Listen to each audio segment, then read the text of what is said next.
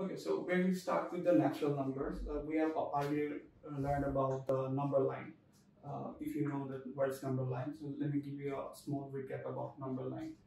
So we consider this is a number line. This is zero, one,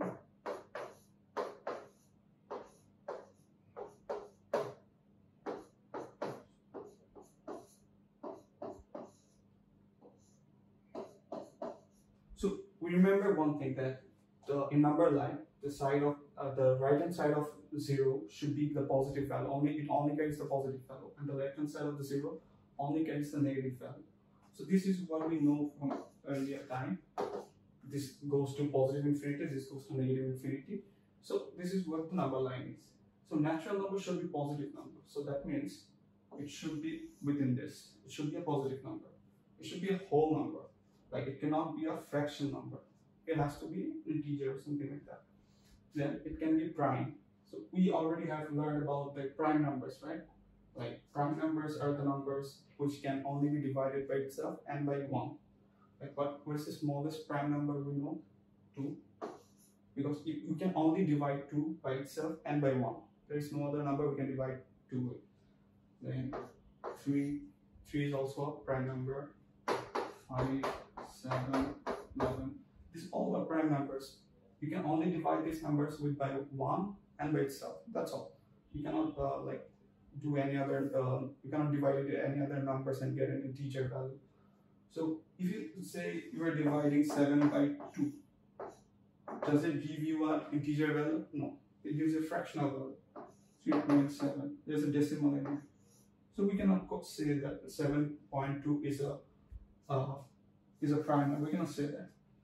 So let's see again. Uh, these are the prime numbers we know. So we have talked about the natural numbers. So natural numbers can be prime numbers.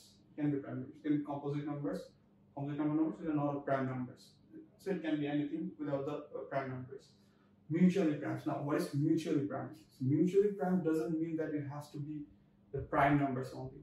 Like if I say I have two numbers here, have two numbers over here. One is 35, another is 6. So these two numbers are mutually prime with each other. So why they are mutually prime? Let me show you. We, uh, what is the factors of 6? Factors of 6 can be 6 itself, 3, 2, and 1. What would be the factors of 35? 35 itself, seven, five, one.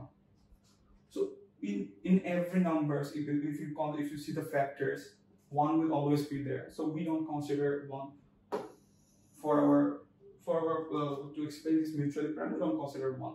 So any two numbers where there are no common factors within it except one. So we don't consider we don't consider one except one. So those two numbers are called mutually prime with each other. Like 6 and 35 are mutually prime with each other.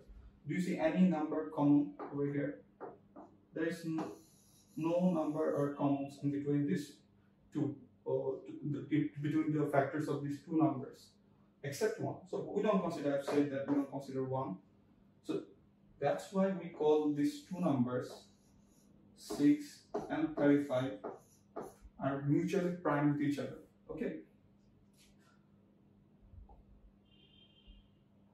So natural numbers, it can be the prime numbers, it can be composite numbers, it can be mutually primes. So from 1 to any positive numbers, it can be the natural numbers, simple as that. Now let's uh, get to know about the integers. So what are integers?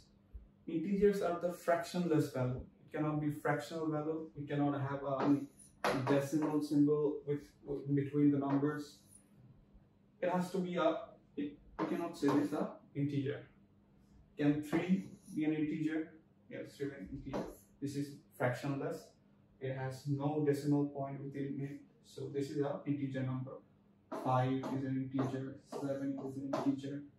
So all these numbers are integers. See. So uh, integers can be positive, it can be negative as well. Like minus 1, minus 2, minus 3. It can be anything, positive, negative, doesn't matter. Zero is also an integer. So uh, all, uh, so all we have to remember the integer numbers are those numbers which are fractionless, which doesn't have any decimal point within it. So these all these numbers are we can be classified into uh, integer.